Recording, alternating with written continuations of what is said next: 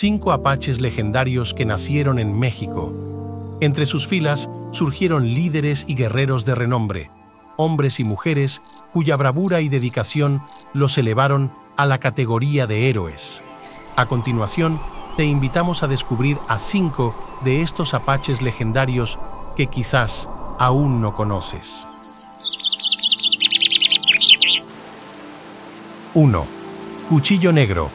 Un guerrero indomable encabezó la llamada a la unión de las tribus apaches en una alianza implacable para vengar la muerte de sus seres queridos, quienes habían sido brutalmente asesinados el 7 de julio de 1846 en Galeana a manos de James Kirker y su siniestra banda de cazadores de cabelleras.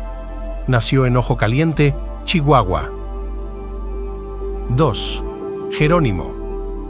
Uno de los apaches más icónicos, Jerónimo combinó su destreza como guerrero con su sabiduría espiritual para liderar la tribu Chiricahua su valiente lucha contra mexicanos y colonos estadounidenses en defensa de su territorio y su gente, en el año 1880, las tropas del gobernador militar de Sonora asesinaron a su esposa, a sus tres hijos y a su madre.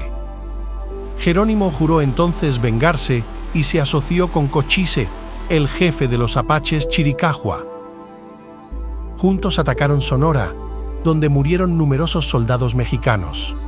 En los años siguientes se sucedieron los ataques a diversas ciudades mexicanas.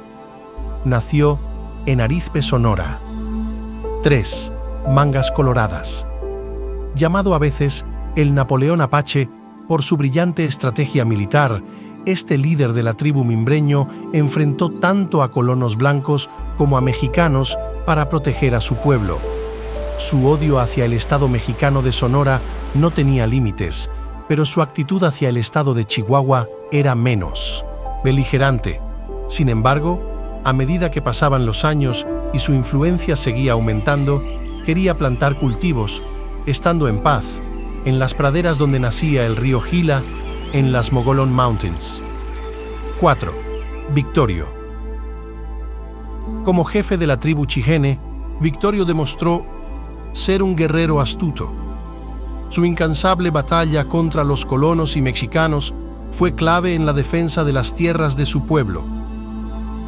Nacido bajo el nombre de Pedro Cedillo, en la Hacienda del Carmen, Chihuahua, fue un legendario guerrero y líder de la banda Chigene, de los Chiricahuas, que unificó varios grupos apaches y comandó feroces ataques y batallas en contra del ejército mexicano y estadounidense destacando por sus grandes habilidades de guerra y sus estrategias sanguinarias, siendo un temido jefe por sus enemigos y considerado el más fiero y cruel líder de los Chiricahuas y un héroe para su pueblo, llegando a estar invicto hasta su muerte en la batalla de Tres Castillos.